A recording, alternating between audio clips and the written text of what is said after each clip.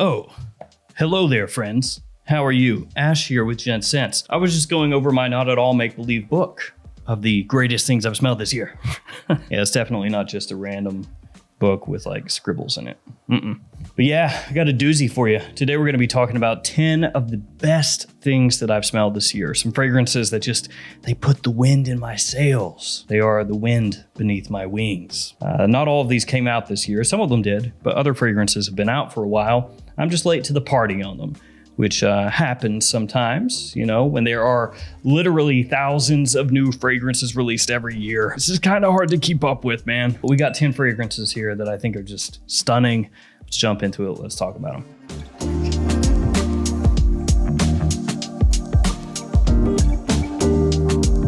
You know what else is stunning? That's right, friends, 10% off codes. Very stunning. Gents10 is the code, twistedlily.com or maxaroma.com or 10 gents. That will get you 10% off of luckyscent.com. The other code gents10 will get you 10% off the other two websites. Cool, cool. All right, let's jump into it. The first fragrance I'm going to talk to you about is a clone fragrance. It's the only clone in this list from the house of Lattafa, and the fragrance is Khamrah. This is probably one of, if not the most sought after clone fragrances right now, and for good reason. Obviously, this is a clone of Angel Share, by by Kilian. In case you couldn't tell by the not at all obvious knockoff imitation bottle, and the cap is really hard to take off sometimes. But this is a great clone. It's kind of a twist on Angel Share. It's not exactly the same, but you get that booziness, you get that sweetness, that richness, that depth. Really nice performance. And actually, the presentation on the whole is somehow better with the Lattafa than the Kilian. It's it's weird to me too. The bottle is nice. I think the bottle is a little bit nicer looking on the Kilian. The cap is kind of a wash, but then the box is way better with the Lattafa than the Kilian. Obviously, presentation though does not matter. What matters is the fragrance, how it smells. And this thing for about $30 US is the best alternative to Angel Share on the market, period. You get the full thing, the full deal. You get the look, you get the smell, you get the performance. This stuff really surprised me. And then we'll go with the designer next. Gentleman Reserve Privé. Now this is one of the most popular releases, at least in the fragrance community of this year, and it makes sense. It's an iris-based fragrance, but it has a nice warmth to it, a nice booziness. So you have that sweetness that offsets the iris a little bit. It doesn't get uh, too makeupy, you know, not too powdery. Even my wife, who is sometimes not a fan of some iris fragrances, loves this one. It also has a little gourmand edge to it. You know, it's got some chestnut in here.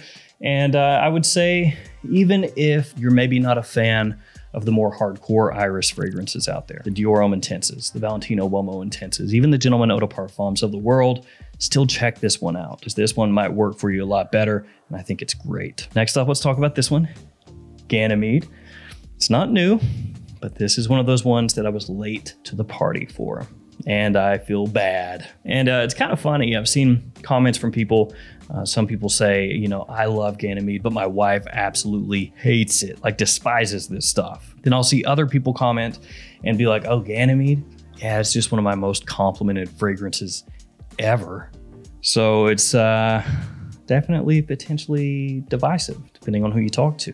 It's got suede, saffron, violet, and a minerality to it. And that minerality is what I adore about this thing. Just from the atomizer alone, you get that big blast of like almost an effervescent, rocky minerality to it. Uh, I mean, that is how it's described. I mean, that's the best way to describe it. And it's just show stopping to me. It's like a completely new take on freshness. And that one I fell in love with. I actually smelled it first from a little uh, decant then I bought the full bottle. Back to designers, Terre d'Hermès Eau Givrée. Uh, this stuff, the opening does it for me. It's this citron that's very natural smelling, but not so rindy and potentially bitter as something like Light Blue Forever. So some people, they're gonna get turned off by that Light Blue Forever style of citrus. This one has enough of that natural feeling that it really draws me in, but then it's somehow more wearable, easier to pull off. Also has juniper in here, and this one also has its own little bit of minerality. Maybe that's just something I really enjoy. Love this one. Great high quality fresh fragrance. A little bit of class to it as well. Great addition to the Terre line. I like this stuff so much that I don't even mind that Terre Eau Très Fraîche is harder to find. Then another one that I smelled first from a decant and then bought, it is Mystery Tobacco from Carolina Herrera. And this one right here kicked off my uh, Pokemon-esque, gotta have them all kind of mindset that I have now for this line of fragrances. It is a little bit similar to Red Tobacco uh, from Mancera or Carlisle from Parfums de Marly, but truth be told, I prefer this to both of those. So this has tonka, patchouli, guaiac wood, little citrus, and of course tobacco. It's very smooth, it's sweet, it's not as, uh, in the opening, aggressive and, and kind of, you know, a mishmash of notes. Red tobacco in the opening can be very off-putting, but this one is just smooth and sweet right out the get. So mystery tobacco, that stuff fell in love with and got a bottle. And then, like I said, I just started collecting these uh, Herreras. After that, Thameen carved oud. Oh, is that a magnetic cap? Yes. So carved oud. This one smells similar to oud wood from Tom Ford. It really does. It has cardamom, sandalwood, and iris along with that oud. It kind of pains me to say it, but you know, carved oud is probably better than oud wood. And I'm a big fan of oud wood. I give that all the props in the world. But this is like oud wood, only smoother and, and richer and uh, longer lasting as well. It's an extrait de parfum. The iris in there really helps elevate the scent profile, takes it to the next level. Carved oud is just great. And that one is my introduction to the brand. And then something from Moresque, another blue bottle. And this thing is gorgeous to look at. It's called Sahara Blue. And this one I actually got from maxaroma.com. It's like a little work of art though, this thing. It, it just looks great to the eye, super appealing. I know the bottle's not everything, but when it looks this good, you're just like, ah, pretty. So this one has ginger, lemon, apple, uh, pink pepper, lavender, and musk some of the notes. Uh, it smells similar to Hacivat from Nishane. It has kind of a candy-like sweetness off the top, very fresh, versatility through the roof. People are gonna love the way this thing smells. The only drawback is it is pricey.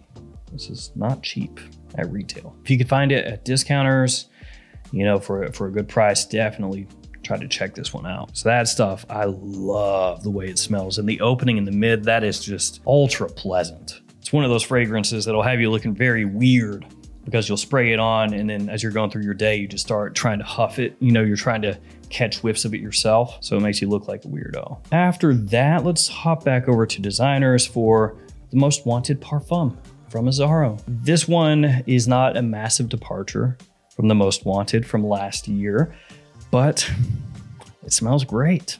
One of those compliment monsters, compliment beasts for fall and winter time. Has a sweet, slightly smoky vanilla it has that, that warmth, that kind of gourmand edge to it. This style of fragrance for men right now, very popular. You can see fragrances that are similar-ish to this across other brands. And I get it. I mean, this stuff just smells great. And in the air, in the cold. So yeah, it's maybe not the most exciting choice because it does have that similarity to uh, last year's release, but I think it's really well done. After that, Afternoon Swim from Louis Vuitton.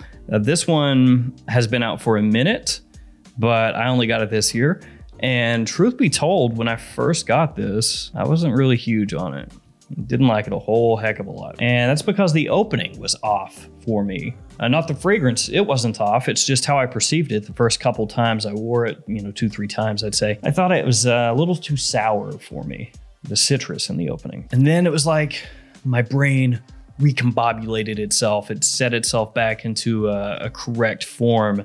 And when I smelled this, I thought, man, that's awesome. Citrus is really high quality, great citrus combo, you know, a slight, slight little tart edge to it, but sweet and fresh, kind of an ambergris base, you know, not anything terribly complex, just a very pleasant high-end vacation scent, essentially. And that's how I viewed it. And it worked perfectly for that, frankly. For me, it is a very specific scent. It's like summertime, daytime, pretty much it. But in that one specific niche where you want something citrusy, fresh, clean, a little bit aquatic, that is perfect. Last fragrance is actually two fragrances because they're from the same house. Xerjoff And the first fragrance is Torino 21. This one I put right up there with Xerjoff Nio as basically like their perfect go-to spring, summer, daytime fragrances.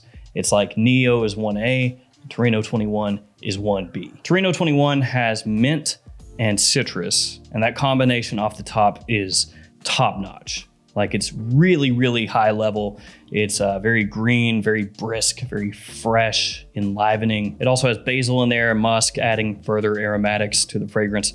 Uh, Torino 21 is just really, really great, especially during spring. And then Starlight is the other one. This was like my go-to fragrance for this fall.